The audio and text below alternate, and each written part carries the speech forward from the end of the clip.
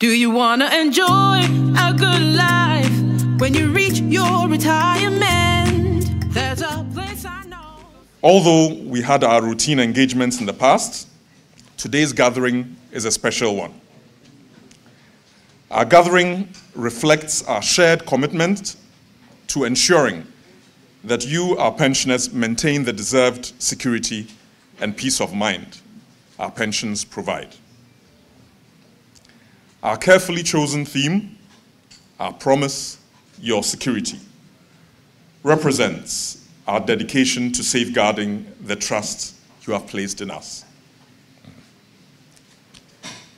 The ILO released an important report on the sustainability of the SSNIT scheme, which we have used to guide improvements and to ensure the future strength of the scheme. Today, we shall have an in-depth discussion with you on that and other matters that naturally hold your interest with regard to SSNIT, the SSNIT scheme. We are committed to transparency, open communication, and addressing your concerns. As today's program will demonstrate, pension schemes the world over do have their challenges driven by various factors, to name a few demographics, funding, the economy, politics, and so on. I could go on, the list is endless.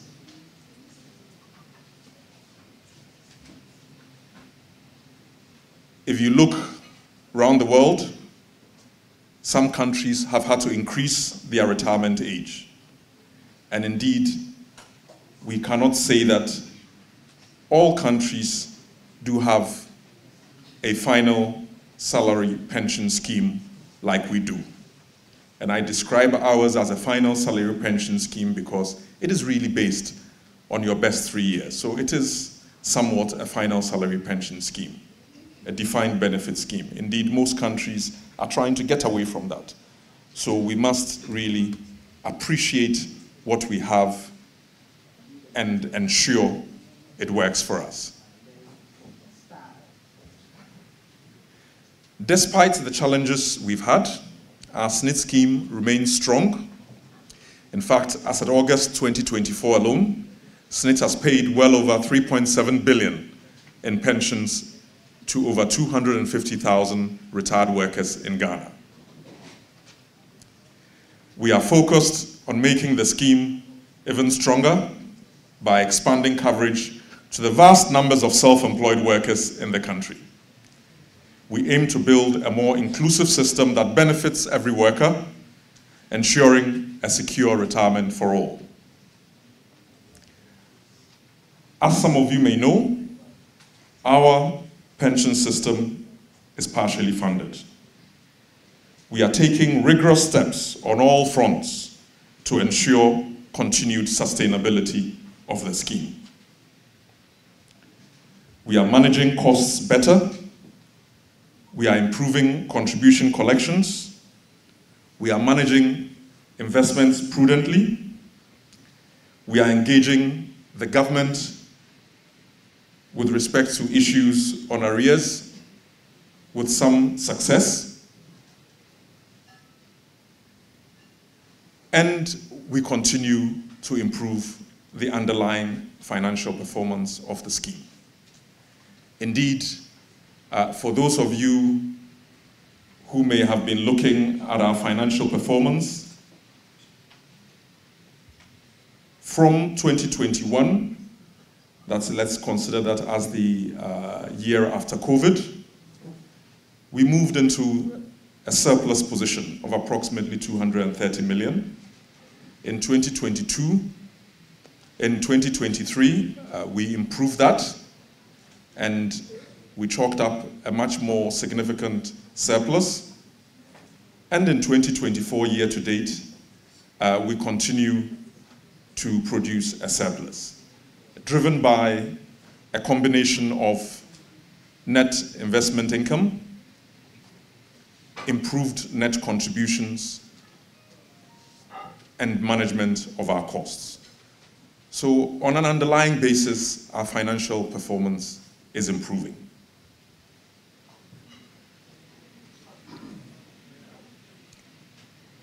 To be able to continue to do this, your support as pensioners, the beneficiaries, is invaluable.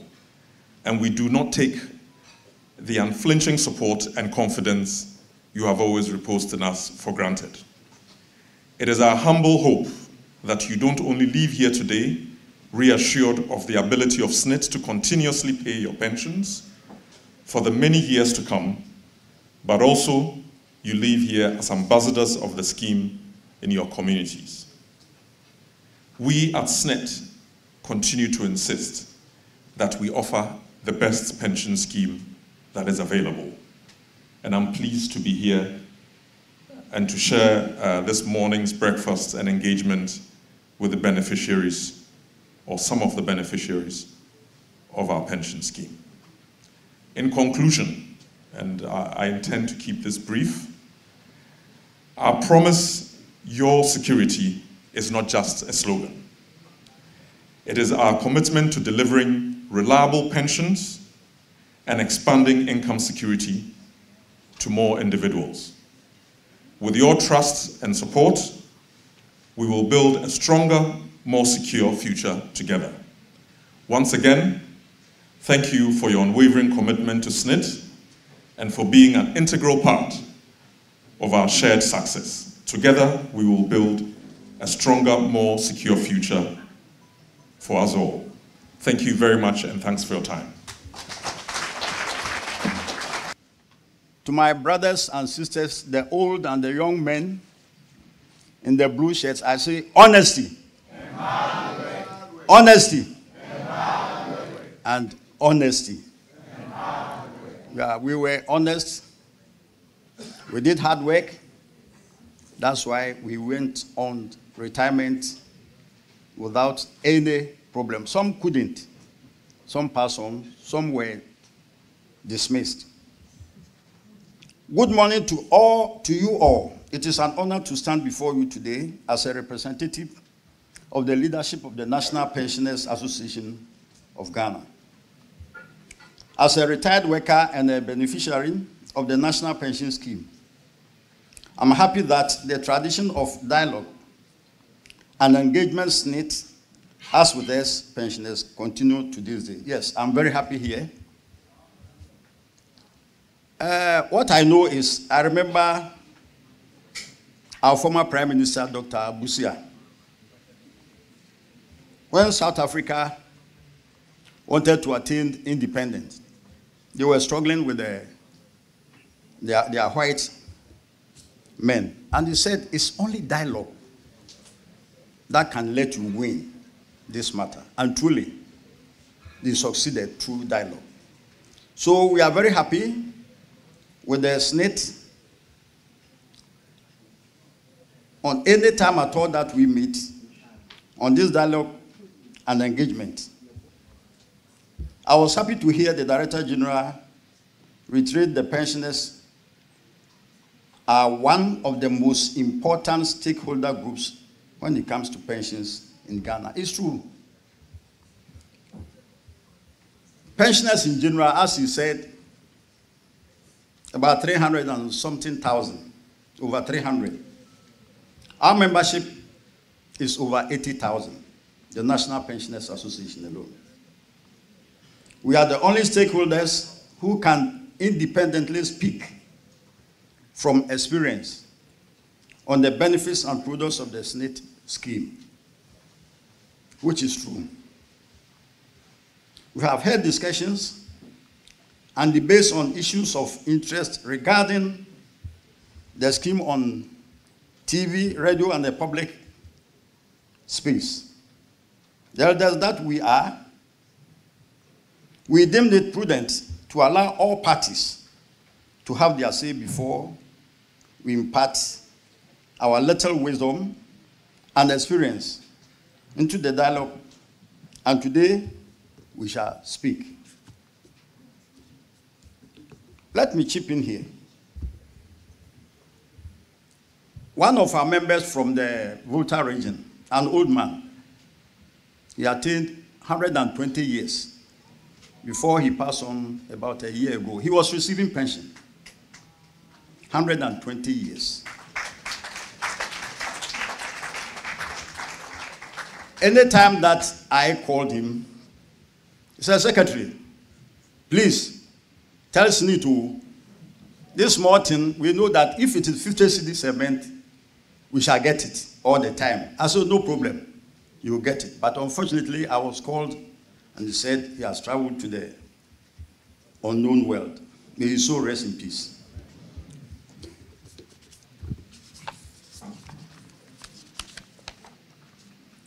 Yes, we agree that, like any system, improvement is necessary as we strive for perfection. Yes. Yes.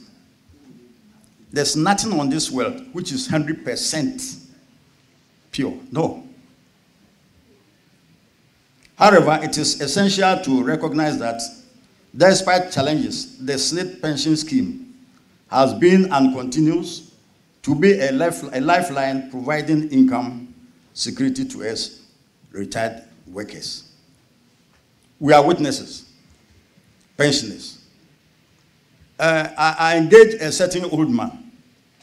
Uh, if I say old man, it's an old boy, pensioner.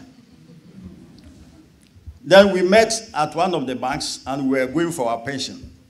When he took the money from the the the, the staff and the distance, then he put the money down and he wanted to leave.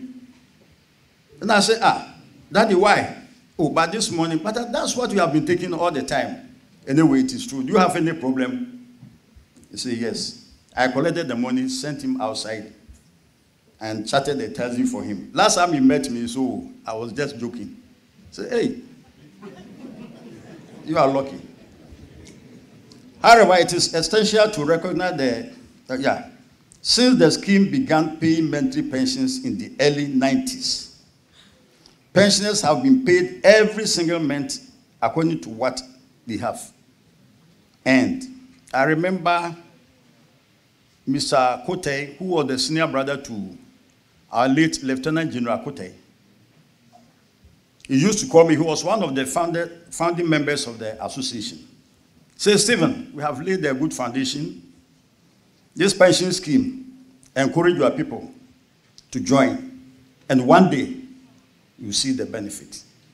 My late Mr. Maibo also have been saying that, Mr. Wachi, people will see the wisdom in the near future.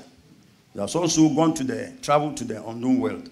May their souls rest in perfect peace. Amen. Life, as you know, has always been uncertain. Yes. We can therefore not leave our future for, to chance. No, we can't do that. Most of our young boys here are over 80, 90, but they are still kicking. Honestly, it is true.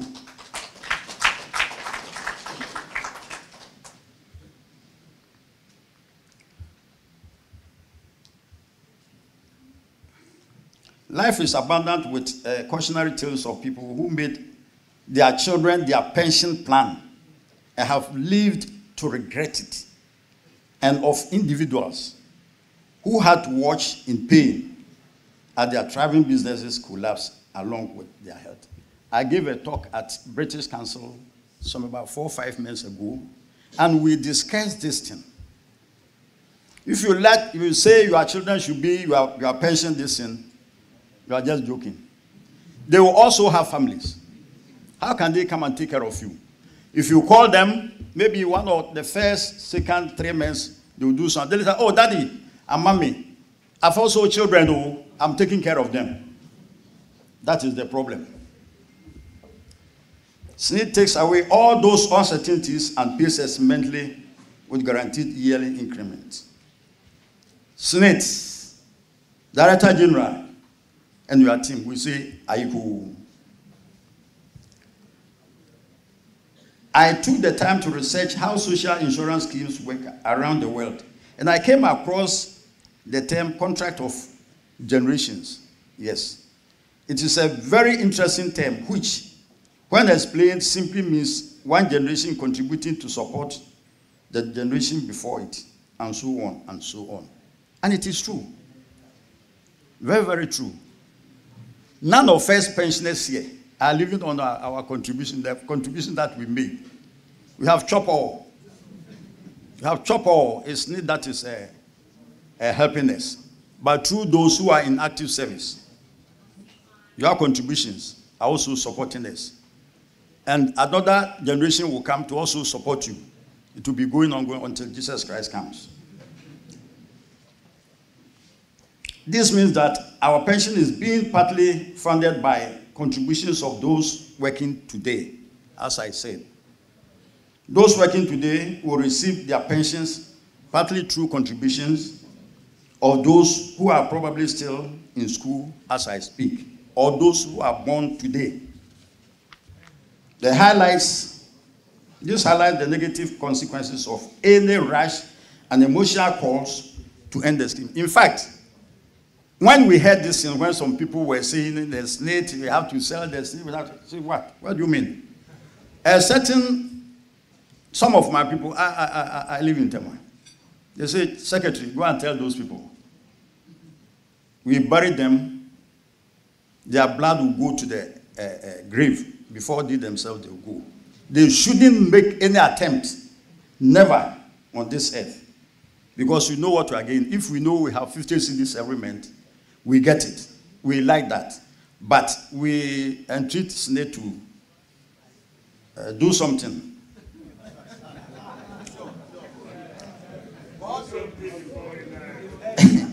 the very workers of today are the ones who stand to lose the most when that chain or contract is broken. I've been saying this. You lose. I'm telling you. Whenever you meet and uh, discussion, especially, excuse me, with the media, when you get any information, my policy is, what is the proof? If you give me the proof, I'll follow you. If I don't have the proof, I'll never. Not that anything at all when you hear, then you go and make it. I remember when we were, we were, we were distributing our vehicles, somebody sent information to some of the media and they, they published something. I told them to retract. And they retracted. Go through, investigate, and see. If you give a dog a bad name to sacrifice it, one day you realize that you did wrong. So we are telling you that you, the very workers of today, are the ones who stand to lose the most when that chain of contract is broken. There will be no one to pay for this yours, no, no one. I therefore humbly urge all other stakeholders to welcome engagements with SSNIT and get better informed on the scheme so that we all can approach issues of our pensions dispassionately and with seriousness. When we come together for discussions, that's how we do it. If there's any problem, we just jump in and we, we, we, we throw the, uh, the baby with the dirty water. No we must go through some engagements and this thing, and we shall find the correct uh, this thing. We, con- we, the pensioners, will continue sharing our possible, positive stories with everyone, including those who may doubt the value of the scheme. We will remind the younger generation that what they contribute today is an investment for their future a future where they can retire with dignity, a future where unexpected illness does not leave them destitute, and a future where their families will be supported when they are no longer here to provide. It's up to you, the younger ones. The SSNIT scheme is more than just numbers on paper. It's a promise to the hardworking people of this country that when the time comes, they will not be forgotten. And indeed, we, the pensioners of today, have not been forgotten. Let us protect this scheme so that future generations can look back and say, yes, this was something worth preserving. Before I, I, I, I, take my seat, Director and your team, the year is getting to an end. And you know, and you know, and you know. We are expecting. We are expecting.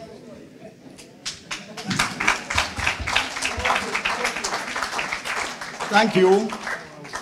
And may we all continue working towards strengthening our pension scheme for our sticks and that of our children. I went for my pension, and my, my, my, my, my granddaughter, small girl about three years from uh, Canada, who came to visit us. When I sent her to the bank and I collected the money, he said, Daddy, uh, Grandpa, why did you collect the money for us? Oh, it's my pension. Pension? What is pension? I explained. They are very clever, inquisitive. As soon as you went home, I called, Mommy, Daddy has gone to, uh, Grandpa has collected some money from a bank. Ah, he said, What money? It's for him. He said, No. I him, he Pension. What is pension? Then we started explaining. He said, You, you grow. When we go, you go and work. A time will come when you get to a certain age, you also collect it. Ah, but I'm three years. When? I say, Your time will come. so I thank all of you, director. As I said, and your team, I know, I know, and we all know. And we say, God bless you all. Thank you very much. SSNIT is also the largest institutional investor in the information, communication, and technology industry, with over 300 million worth of investments in the sector. SSNIT has investments in 8 out of the 23 commercial banks. SSNIT has improved health facilities and accessibility to quality healthcare by the construction of major hospitals and satellite clinics. So the last three valuations were conducted by ILO. What we should understand is that, like I said, it's a technical report.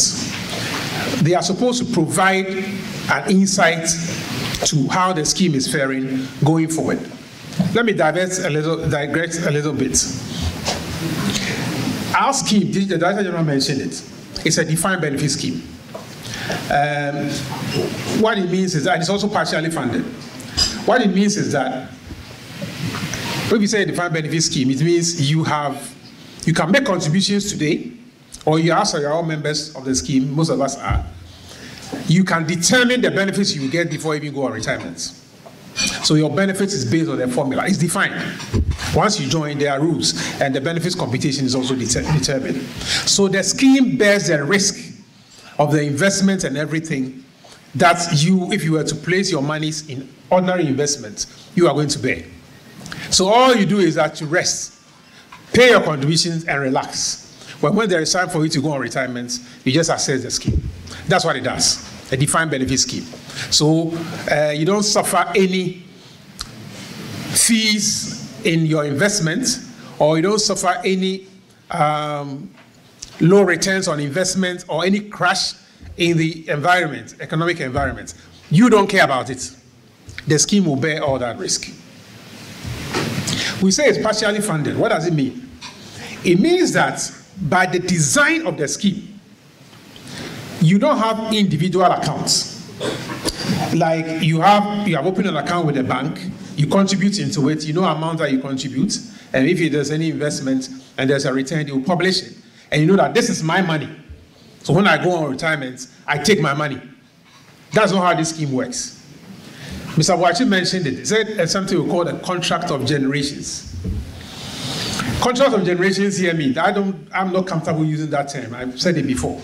Because the contract of generation is that those yet unborn have signed a contract with us, those living, that when we go on retirement, they are going to um, bring in money to support our retirement. That's what it means, basically. But you all know that those who are not born are not alive to sign contracts. That is why I'm not comfortable. But that is, in principle, that's what it means. It means that we need people to contribute to support those who are on pension. Basically, that's what it is. This is how the scheme has been designed. That's what makes this scheme so special. It stands out and it stands out across the world because of the design of the scheme. So In, in summary, what it means is that so long as people are born, I can even go back to so long as people do stuff in their bedrooms, it's all impact on the scheme. Because that will result in the, the birth of people. So when they are born, and they will grow to, they will go to school, of course, or they will get into some employment, and they become members of the scheme, and they contribute into the scheme, the scheme should be alive to pay benefits for all those who retire. Basic principle. That's what it is. That's how the scheme has been designed. As long as people are born into the system, economic system, and they become workers, and they become members of the scheme and contribute into the scheme, the scheme itself should be able to thrive and pay for those who go on retirement. It tells you that the monies or the contribution you bring in is not enough to pay you till you die. It's not. It has never been enough. So, contrary to what you hear about the Smith scheme, that oh, that's a fallacy. There is absolutely no truth in that. Because the contributions that you bring in, if you contribute for 15 years, or for 35 years, or for 40 years, it will not be enough to take care of you. That's the pension that we pay you till you die. Mr. Wachi mentioned that somebody um, died at the age of 120 years, and the person was still a, a, member of the scheme or a pensioner. Well, we can interrogate. I was just saying that maybe the person reduced his age a little bit uh, when he joined the scheme or when he became eligible. Uh-huh. But if you interrogate the age, you may have some questions, but that's not what we are going to discuss. The point is that we have people who are old, some are over 100 years, and they are on the scheme. And they started enjoying the scheme and the benefits long ago. It means that they have long exhausted the contributions they brought into the scheme as members of the scheme. Long ago. But the scheme says it doesn't, it doesn't matter whether you are 90 or 80 or you spend 60 years as, as pensioner, it doesn't matter. We'll pay you till you die. Nobody can suppress that. That is based on the contract of generation principle that we have in the scheme. So that is an assurance I want to give you. The scheme will continue to thrive basically by design so long as people join in and contribute. That is why, if I may quickly add, that recently you hear that we are extending coverage to everybody, including the self-employed, what we call the seed. It is to bring in more people to the scheme so that it can help support and pay for the benefits of those who are on retirement. And so that when they also go on retirement, there'll be new people to bring in new money to pay for them. So that alone should tell you the scheme will survive without any new monies, I mean new uh, returns on investment. But that is not enough. Apart from that, there are measures management has put in place and we continue to do to make sure that even though the scheme has been designed that when we get new people coming in, it's able to take care of the people, we still have more funds to make sure that we are comfortable, that it can persist for generations. And that's why we are looking at investment. So we collect the contributions, we use them to pay the benefits, excess contributions are now invested to bring you more returns so that we can pay you more. Pay you more, not pay you aside the formula. No, but for what Mr. Uh, Boachi was talking about, the year is coming to an end, and we need to adjust the pensions, which I'm sure you are very interested in. Yes, and we are in the process of doing it. In fact, I was just discussing with the DG a while ago that we are going to finalize it, and I can assure you, you'll be smiling. Wow. So, because we want you to smile, if I say you'll be smiling, even if you give you 2%, you'll be smiling. I'm just saying, I'm just saying. Just like we gave you 25% two years ago and you were smiling. Uh-huh. It will be more than what you are receiving, basically. Because we want to pay you so that you'll be smiling, that is why we are undertaking prudent investment measures, policies to make sure that we have a lot of uh, positive returns coming into the scheme. I want you the fund so that we'll be able to pay you what we are supposed to pay you according to the time that we live in. So, going on, I said that the law enjoins us to um, get this report every three years.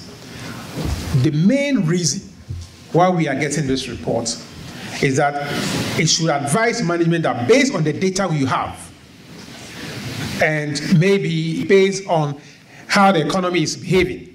I mentioned that it's based on three things. The data, the data has to be um, reliable. That the data you are going to use has to be reliable. It has to be sufficient and reliable. And then the methodology you are going to use. I'm talking about the external actuary. The methodology should be also appropriate for the scheme, and it should be consistent with the accepted, actually accepted uh, uh, practices across the country, across the world. And then the formula, if you like, the projections that you are going to make. So the assumptions, the methodology, and then the data. Those assumptions are not fixed. If I'm an actuary and I'm performing this job, I can safely say that, oh, I, I envisage that in the next five years, the inflation rate is going to go down to a single digit based on certain trends or based on some observations. And I will place that in, in the assumption. Another actuary can say that the inflation will be 15% going forward and it will uh, uh, uh, decrease all the way up to 10%. So it depends on the external actuary who is doing that, who is undertaking that exercise. Somebody can also assume that oh, we are going to have high inflation because of economic, situ- um, the political situation that we envisage in the next 10 years going to be like that and that. All those things determine the outcome of the evaluation. That is the point I'm trying to make. So it is not cast in stone. If I engage one actuary to perform this exercise, his results may be different from another actuary who is also competent but based on these assumptions. They will be based on the same data and also the methodology that they will use. So that is how the actuarial valuation exercise is done. So it is to give management, if you like, a telescopic view of how the scheme is. So it's like you are sailing, you're on a, on the high seas, and then the captain will just use the binoc- um, not the binoculars, the telescope and see ahead that there is an iceberg several thousands of nautical miles away. And they are heading towards the iceberg. I'm sure all of you know or will agree with me that if I see an iceberg ahead, several thousands of nautical miles away, would I still sail towards the iceberg and hit? Nobody will do that. You definitely direct it. So that is exactly what the scheme that the, the report does actuarial valuation does. It gives you that idea, they say, oh, so going ahead, based on the contributions we are receiving and the payments we are making, it's likely that if we don't do anything about it, I'm going to go into what we should do about it. You are going to hit this iceberg. Then quickly, management will take steps and say that well, then let's veer off of the path that we are on and make sure we don't hit the iceberg. That's exactly how the evaluation report is supposed to do. So it will tell management, and the management will take decisions and move away from that path so that we don't hit the iceberg and we still continue to sail and get to the final destination. So there is nothing to be worried about. These reports have been produced, as I said, over the years. The same ILO that did the last three reports 2014, 2017, 2020, they are the same people who produce, and in all the reports, there is a caution. So you see the recommendations in the report. They say do A, B, C, D based on the data. This is so, so and so. We cannot say we can confirm that the scheme is not sustainable. They will say something like that in the next 75 years. Please, they will look at ahead so in the next 75 years, this is what the projection is about. We are doing projection based on 75 year period. Sometimes 100, now we reduce to 75. That in the next 75 years, based on the assumptions we are making towards the economy, towards demography, how people are going to be born into the scheme, how people are going to immigrate, based on all those assumptions that are not cast in stone, we see that the scheme might not be sustainable based on the contributions coming in. I mean, those who are yet unborn to contribute. and those who are going to go on pension, those who are going to die. All those assumptions have to be made before you can come out with any pronouncement or any suggestions at all or recommendations about the scheme. So it means that all those ones are not certain, they are not certainty. And in fact, in the report, as a professional, you need to state that. That people don't quote you and use the projections as if they are predictions that are supposed to come in. They are not. The actuaries themselves will write and tell you that you don't have to use this one, they are not predictions. They are to give you an insight. And even the assumptions may have to be reviewed every year. It is stated in the report that the assumptions that they use to arrive at those recommendations, they may have to review them because you are going to have real data, not projections into the future. So the point is that they are all based on assumptions and based on the data and based on economic situation, based on demography and migration and all that go into the actuarial valuation report. That is what I said, why I said from the beginning that it's a technical report. You don't just read it as it is and then take it and go to town with it. That's exactly the point I was making. Okay, so if you look at some of the reports, you see that in 20, 2011, this valuation report was uh, undertaken by the Government Actuaries Department in the UK. And when they did the report, they said that by 2019, five years ago, if nothing happens, nothing changes, they did a report in 2011, and they said eight years after that, if we don't do anything at all about contributions and the same contributions that we are collecting and paying benefits along the same trend, then by 2019, we will not have enough contributions to pay the benefits that we're paying. That is, the benefits payments will exceed the contributions that we're getting in. And in fact, that scheme, they did a projection uh, for 70 years, the next 70 years from 2011. And they said that the fund was going to be depleted by 2031. This is 2011 that they made that projection. Then we engaged a different actuary in 2014, three years later, and 2017 and 2020, the same ILO. And they also said that in 2020, 2035, the total income that is contribution, investment income, and other income will no longer be sufficient to pay all the annual expenditures, including the benefits. Mind you, in 2011, they said 2031. But in 2014, three years after the evaluation, they now said 2035. What does it tell you? It tells you, or it should tell you, that after the 2011 valuation, we don't just go to sleep. There are some things that we did to make sure that we don't hit the iceberg, but we veer off the path. And so now, when they did the valuation three years later, now instead of 2031, they are talking about 2035. Uh, 2019, sorry, they are talking about 2035. So that is how the valuation report is interpreted. So if you look at it, it said the reserve will start decreasing, and by year 2042, it drops to zero. But the first one was 2031 that we're going to drop to zero. I hope you are getting the picture now. Yeah. So that is how the report is. So fast forward three years later, 2017, they said starting 2032, the total income will no longer be sufficient, just as they said 2019. Now they say 2032. And then uh, by 38, 2038, uh, the reserves will drop to zero. So it has moved from 42 to 38. Did we go to sleep? No. We still put some measures in place to make sure that the scheme became sustainable. And then when we came to 2020 reports, where it became topical, they said 2036, the scheme was going to collapse. They say, So you realize that in every valuation report, there is some kind of a discussion or a, a, talk on the sustainability of the scheme, given when the scheme or the reserves were going to be exhausted. It doesn't mean that it's going to be exhausted. No. Far from it. Let's go ahead. Slide. So, ladies and gentlemen, I'm here to assure you that the scheme is going nowhere.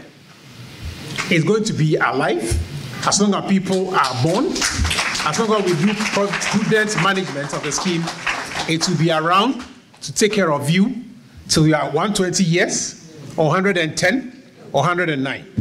As we have some people on the scheme right now who are over 100 years and still enjoying pension. That's exactly what it's going to be like.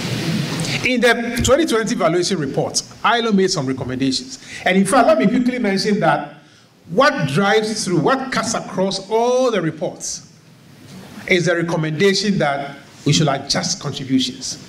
Quickly, give me a minute and let me mention something to you. You see, our scheme financing, the system of financing that we use for our scheme, we call that scale premium system of financing. What does it mean? It means that we determine, or the actuaries will determine a contribution rate for a long period of, say, 70 years, or let's say 50 years.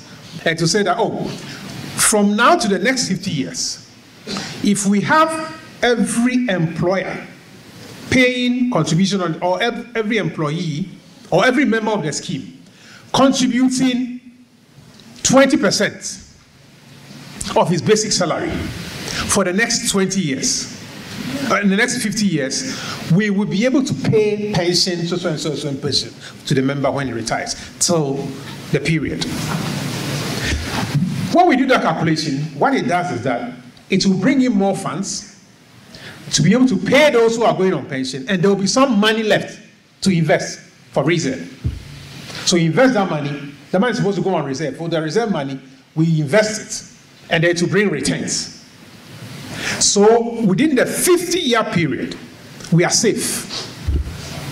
Because the calculation has been done. This is scientific. Okay? So that contribution is the contribution that has been determined for the period. That is our scheme. So as soon as you end the period, you go back to the calculation, the drawing board, and do your calculation again and see whether the same contribution you determined for that 70 period or 50 period is still valid to go ahead for the next 70 years. So we call that period of equilibrium. So it stays there, and then you do the calculation again, and you determine the contribution rates. That is the scale premium of finance. That's how it works.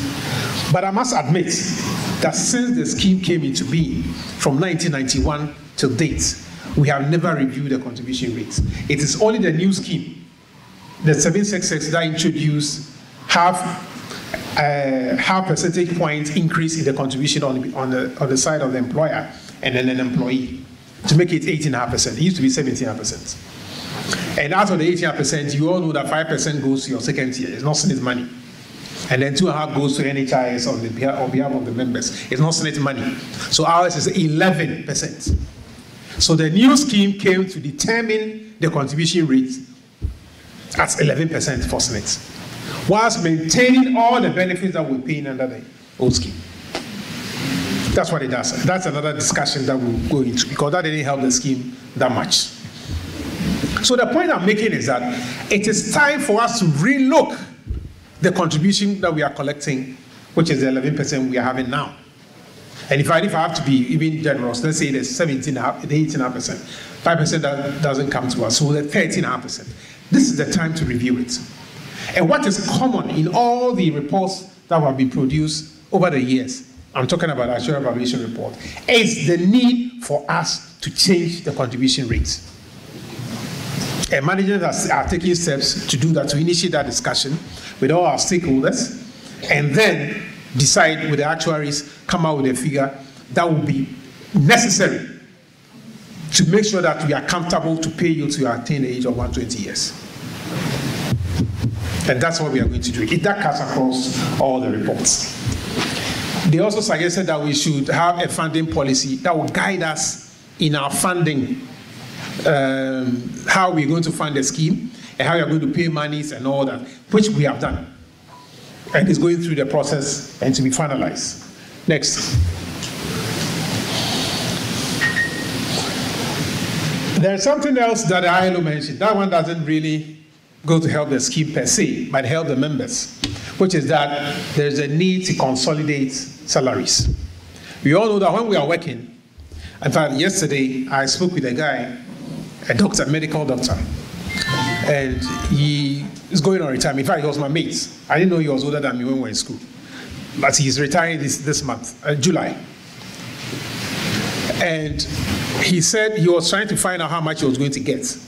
So I did some estimate for him. And it wasn't, it wasn't much. I'm like, ah. So how, how much were you paid? His take home was close to 10,000. But his pension was about 3,000. 3,000, 3,500. So I was wondering, not knowing he was collecting a lot of allowances. The take home was made up of a lot of allowances night allowance, belt allowance, lace allowance, hair allowance, every allowance you can think of. every allowance put together at the end of the month, he takes over and he's happy. The basic salary, the law was talking about, the law is talking about basic salary. The basic salary of this guy was like 5,000 or thereabout, half of the take home that he was getting, which is so, so unfair to him and to many people like him. Because it's like they are not looking at the future. now. Enjoying life, getting everything now. He's okay with all the allowances being paid to him. Which is sad. Because once you retire, first you lose all the allowances. You are no longer working for an employer. He's not going to pay you any allowances. So that one goes off. You are stripped. Then you come back to the basic. And it's not like it's going to pay you the basic as your pension. No, we have a formula. Defined benefits, I told you. So that formula will be used to calculate it. If you are lucky and you contributed for at least 35 years, you get a full 60% of that basic. So if you're getting three, 5,000 a month as your basic, you start your pension with like say 3,000. That's I'm being generous. That's the person has worked for 35 years or more. And then somebody who was getting 10,000 as take home, all of a sudden, 3,000 take home. That will probably send him to his early grave because he has gotten used to the 10,000 lifestyle. So he should have been made whole or partly, you know, close to that. But the reality is that he will not get anywhere close. That is why we are starting the conversation about consolidating salaries and allowances so that whatever you are earning, because it's like a social, it's not a social issue. Your allowances and other things have become your income, a part of your income. So if you are insuring your income, that should be insured as well. Uh-huh. So we are going to do that tactfully so that the scheme doesn't suffer. I say I said so because we can have people trying to abuse that. And then they'll take they go and hide under merging or consolidating salaries and allowances and be inflating their salaries so that they can get better pension. That one will not allow that. In fact, we did my office did some job and said that we need about those who are about 20 years or minimum 15 years to contribute into the scheme, they can start adding up all the allowances and the salaries. So that by the time they retire, you have fat salaries, which will translate into fat pension. Okay, next. So, like I said, when you see the iceberg, you don't go straight into it. You try to divert the course so you don't hit. Before we even talk about increasing contribution rates to increase more contributions and more money to make sure that we pay you your 120 years, there are a raft of measures that we put in place and we continue to engage um, so that the scheme becomes more sustainable.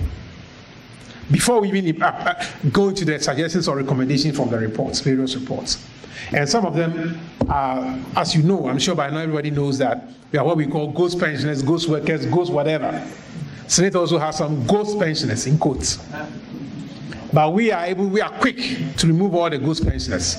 The one in charge is sitting there, the general manager benefits. He will not spare you. As soon as, and this in this case, let me mention that we need that we need to uh, work with you, the National Pensions Association, that as soon as somebody passes, you let us know so that we terminate the pension and add it to your pension. if you don't tell us and we don't get we don't we don't terminate it, we don't add it to your money. Uh-huh. So you tell us immediately and we deactivate. And so every year we try to do that to make sure that those who are paying on the payroll are the people legitimately uh, qualified for that benefits. Pensions are not meant for ghosts. They are meant for li- the living. So under no circumstance should somebody die and then the relative or the children or some grandchildren will take the, the ATM, go to the ATM card, go to the ATM and withdraw the money. That is, that is stealing. And very soon people will be prosecuted for that. In fact, we are going to put in measures to make sure that if you do that, it's stealing actually. Uh-huh. But just that we haven't taken steps to prosecute people.